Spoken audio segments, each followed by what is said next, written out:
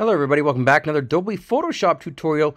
Gonna show you how to recolor artwork using Photoshop. That's right, Photoshop, not Illustrator. And more importantly, this is not layer artwork. This is not vector artwork. This is a PNG or a JPEG, pardon me. This is a JPEG. This is just a photo.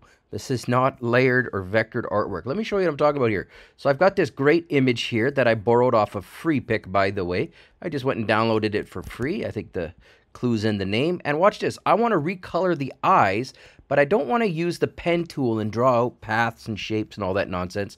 So I'm going to use a new tool here called the Content Aware Tracing Tool. Now watch this. Blue eye blue eye. Let's go with another one. Let's click out.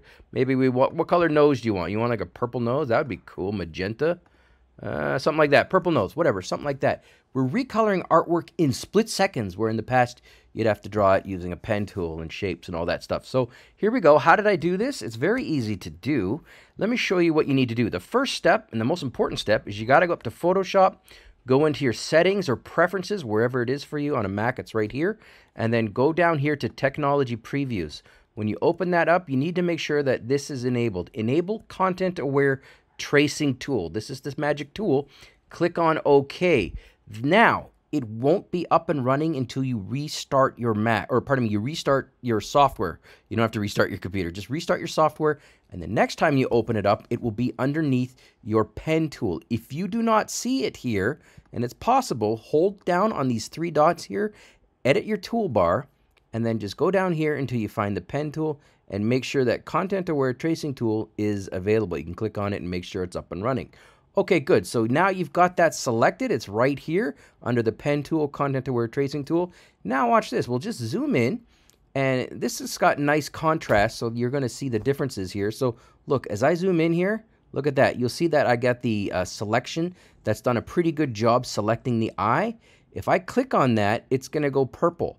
Now, the reason why it's purple is if I look up here, the tool is set to shape versus path. So make sure shape is selected. Select the color of the fill that you want it to be and select the stroke. In this case, no stroke, but if you wanted a stroke, go nuts. Now, let's click outside of it again. I'm going to grab the tool again here, and this time I want a black eye, but maybe this time we want a, I don't know, maybe we want some sort of red stroke. I don't know, I'm just having some fun. Watch this. Here we go. I'm going to click it. I'm going to zoom in again a little further. Make sure that you've got the line here. And there we go. All right, we've got a black eye with a red stroke. And again, this is doing this in seconds. This can speed up your workflow massively. If I want to do it again, I can click out. Now, let's go really far zoomed in. You'll notice here that it's not perfect. There's a little bit of underlap, so to speak. So what I like to do is I'll just hold down the Alt key or the Option key, and then I'll just pull it out maybe one time, and that should do the trick. You can go ahead and adjust it as you see fit. You can also go ahead and grab the uh, direct selection tool and start moving the points if you want to. But literally, that is the entire technique in a bottle there.